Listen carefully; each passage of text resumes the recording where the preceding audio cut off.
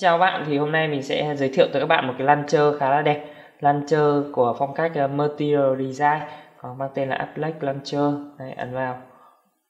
Luôn chọn luôn. Đấy, chúng ta đã vào cái giao diện của Material Design. Khá là đẹp. Đây, và các icon chúng ta cũng sẽ được thay đổi. Và chúng ta sẽ được uh, thoải mái uh, lựa chọn một số cái uh, uh, widget của Material Design đây nó sẽ thêm khá là nhiều. Đây mình thử sẽ thử ném một cái widget nào. Thì uh, cái này nó khá là thú vị nếu mà các bạn chưa lên được Android 5.0 thì cũng có thể sử dụng cái phần play tạo. Đấy đây là cái mà của đây thì cái ở trong này thì có rất là nhiều các loại uh, widget và chúng ta sẽ không cần phải lên à, Android 5.0 và chúng ta cũng có thể sử dụng được giao diện của nó khá tiện. Ngoài ra thì trong cái phần à, cài đặt của cái này cũng có khá là nhiều thể loại. Ví dụ như cài đặt màn hình chính đấy cài đặt uh, các tỷ lệ hay là các độ lưới.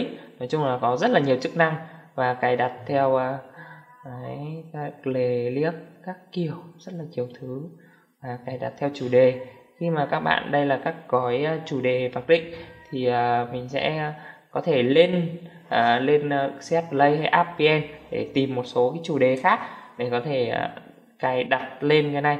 Và hiện tại thì uh, chúng ta đang ở chỗ bạn Applex Launcher Pro được tải trực tiếp lên App VN nên nó sẽ được gọi là rất là nhiều tính năng mà chúng ta À, tìm hiểu mà ở các bạn free không có. Thì à, chúc các bạn à, sử dụng Launcher vui vẻ và bài hướng dẫn về cái Launcher của mình đến đây kết thúc. Cảm ơn các bạn theo dõi video. Xin chào và gặp lại.